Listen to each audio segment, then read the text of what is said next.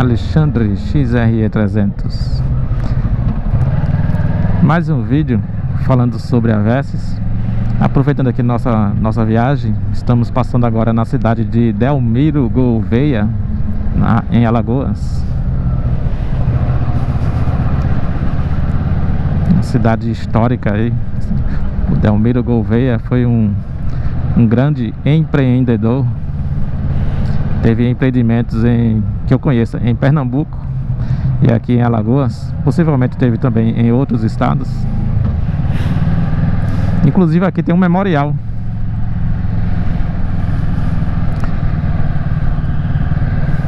Aqui, à esquerda, tem um memorial do Delmiro Gouveia. Aí tem a história dele aqui. Visite Memorial Delmiro Gouveia.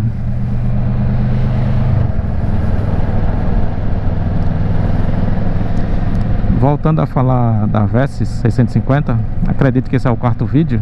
Se você chegou agora, volte aí Alguns vídeos e veja Os outros que eu falei. São vários temas sobre a A Versys 650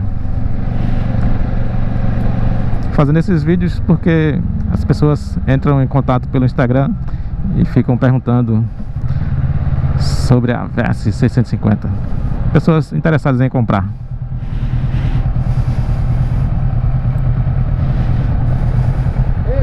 Matei o preá, tu viu? Eu vi o preá. Não, não, não, não, dá pra ver não, porque ele é pequeno e é muito ligeiro.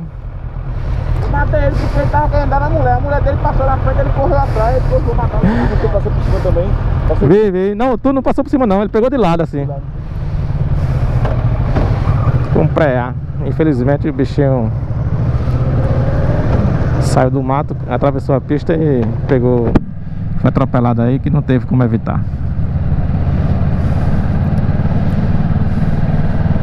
É um bichinho parecido com um rato, só que mais gordinho. E acredito que ele não tem um rabo feito, feito rato. É um, ro um roedor, né, que vive na, nas matas. Então, voltando aqui a, sobre a VS 650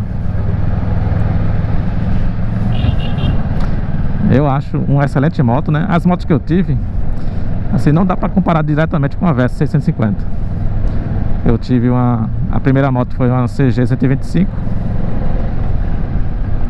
E depois uma XRE 300 Sei 15 anos com a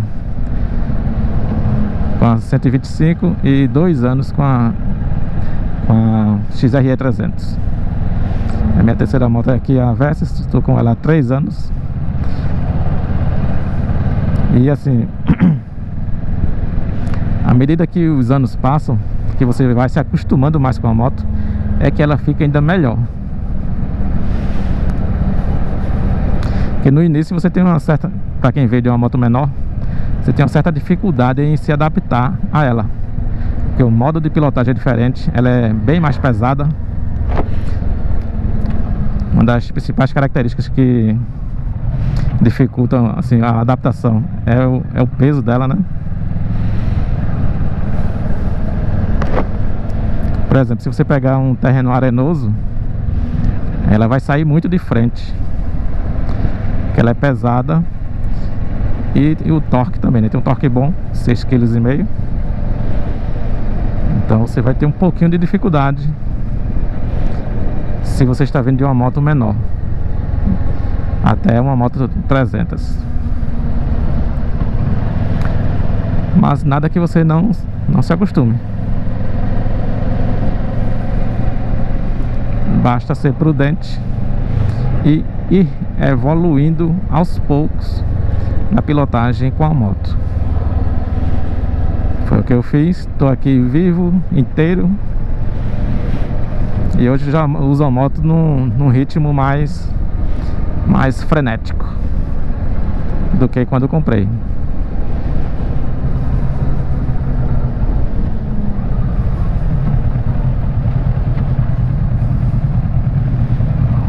Estou aqui com a garupa Nós estamos viajando Fizemos uma viagem de 480 quilômetros Para uns é uma boa viagem Para outros é um, quase um bate e volta Depende do costume, da experiência de cada um.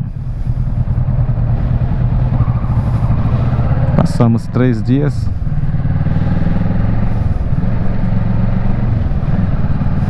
E de casa para essa cidade de Piranhas que a gente foi, foi 480 quilômetros. Só que acabamos de sair de Piranhas e o painel da moto indica Vamos ver aqui quanto indica 780 quilômetros Então a gente andou bastante por aqui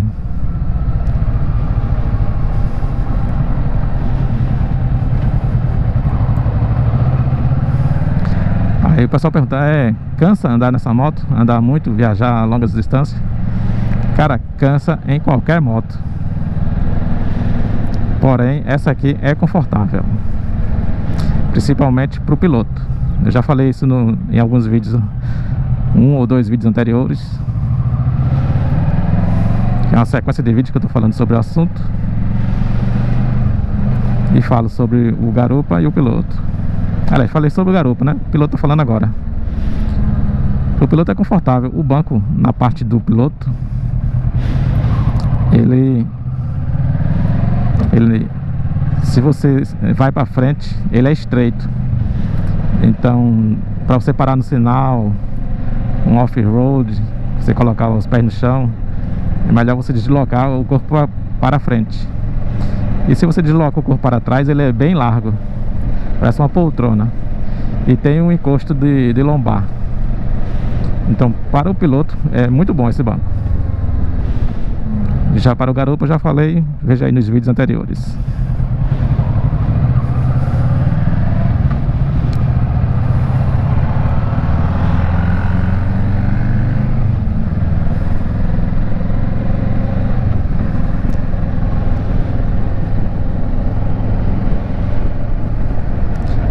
Painel ele, ele, ajuda, por exemplo, eu uso, eu uso aqui o Trip B, nesse caso, Trip B para marcar toda a viagem e o Trip A eu zero toda vez que eu abasteço. Para ter uma ideia aí de De o quanto a moto pode andar, por exemplo Quando atingir meio tanque Normalmente a gente para para abastecer. Mas se por acaso não tiver um posto disponível nesse momento A gente continua andando E pela quilometragem rodada eu tenho uma ideia De quanto ainda resta de, de gasolina. E caso venha dar alguma falha no indicador de gasolina Eu terei uma ideia de, de autonomia que eu tenho ainda disponível.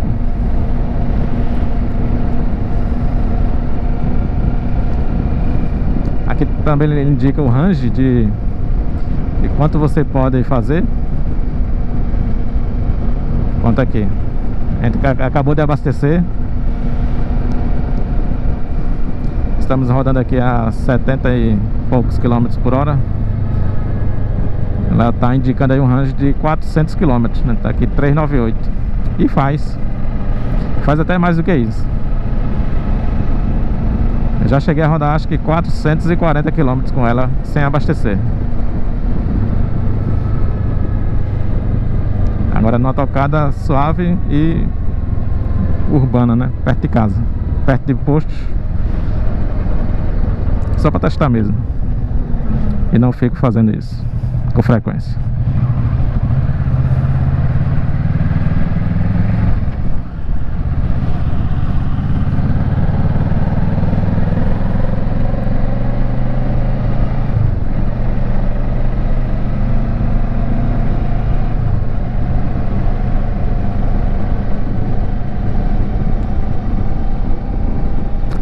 Os retrovisores são muito bons, bonitos, é, aerodinâmicos.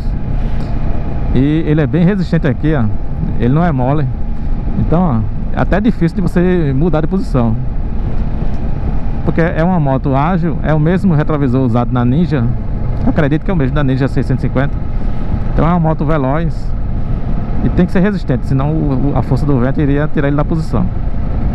E ele não sai, você pode correr que ele não sai da posição e nem na vibração ele também não sai. Para mexer nele tem que ser com a moto parada porque você tem que usar as duas mãos. Então ponto positivo aí pro, pros, para os retrovisores.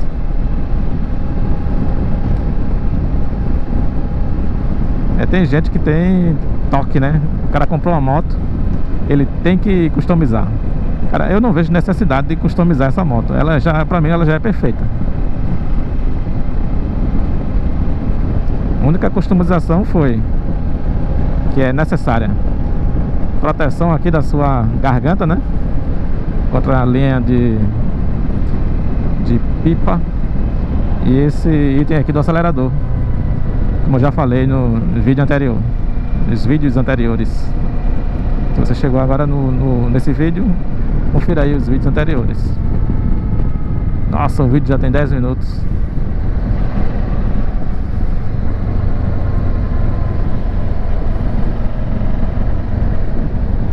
Vamos no sentido Garanhuns, em Pernambuco. Estamos em Alagoas ainda. Delmiro Gouveia.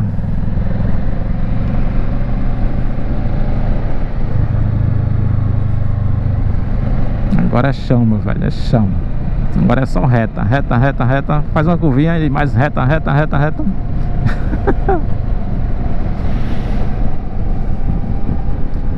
aqui é com esse item do acelerador aqui, ó. Ó. Você continua acelerando a moto sem esforço nenhum.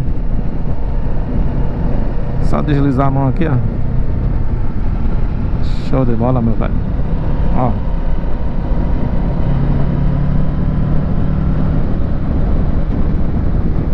Então, isso aqui ajuda muito para você não cansar a mão. Já falei aqui em vídeo anteriores. E tô falando agora que customização não é necessário. A não ser que... Bom, cada um tem seu gosto pessoal e fica a, a critério de cada um.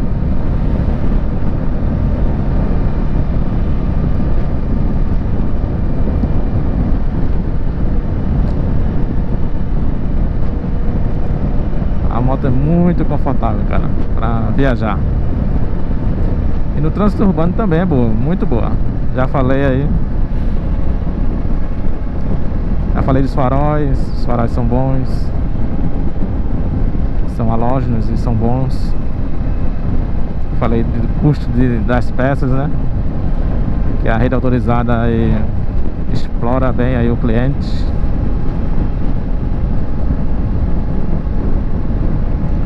Falei também que é uma moto que tem peças mundialmente, né? É uma moto mundial.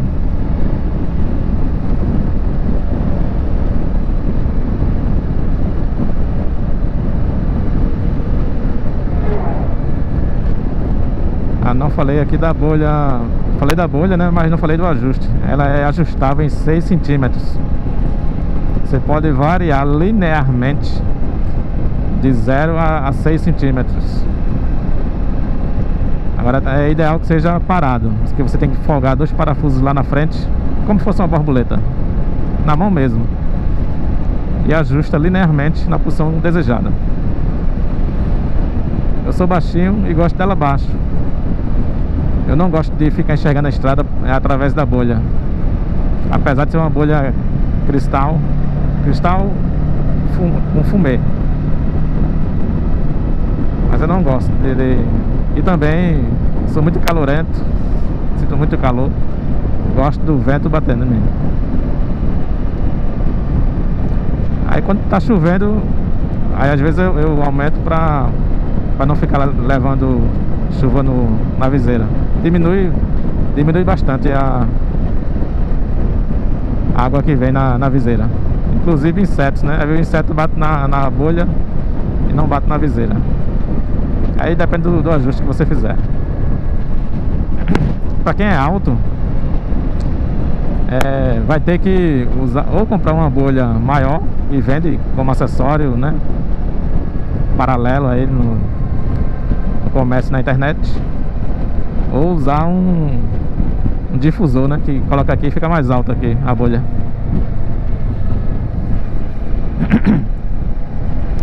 Tem para todos os gostos na internet Ela não vem com, com suporte aqui para colocar GPS Você tem que colocar por fora.